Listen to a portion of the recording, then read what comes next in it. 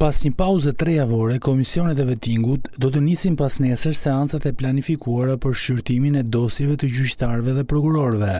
Në datën 3 shtator në komisionin e posaçëm të apelimit do të rifillojë shqyrtimi gjyqësor i dosjes së ish-prokurores së krimeve të rënda, Donika Prelës. Ajo është konfirmuar në detyrë nga shkalla e parë e vetingut që në shkurt të vitit dy mijë e nëntëmbëdhjetë, por Komisioneri Publik ka kërkuar në shkallën e dytë dhe të fundit shkarkimin e saj nga detyra me argumentin se nuk justifikon pasuritë. Ndërkaq, Komisioni i Pavarur i Kualifikimit do të rinisë punën në dy shtator me prezantimin e rezultateve të hetimit për gjyqtaren e Apelit të Shkodrës, Vojsava Osmanaj, dhe më katër shtator për gjyqtarin e Apelit Tiranë, Artur Gaxha.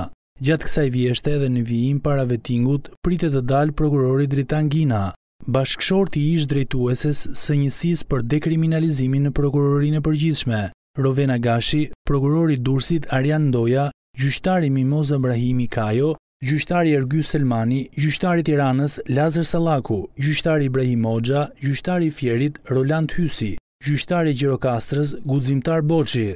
gjyqtari i Vlorës, Ken Dhima dhe disa të tjerë. Komisioni i Vetingut ka marrë deri më sot në shqyrtim dyqind e njëzet e një gjyqtarë dhe prokurorë, nga të cilët njëqind e gjashtëmbëdhjetë janë konfirmuar në detyrë dhe njëqind e pesë janë shkarkuar nga detyra. Ndërkaq, dyzet e një gjyqtarë dhe prokurorë kanë dhënë dorëheqjen nga frika e vetingut. Bundestagu gjerman ka kërkuar hetimin dhe ndëshkimin penal të subjekteve të shkarkuara nga vetingu, por deri më sot janë referuar vetëm dy raste në prokurori. Ndërsa asnjë nuk është marrë si i pandehur.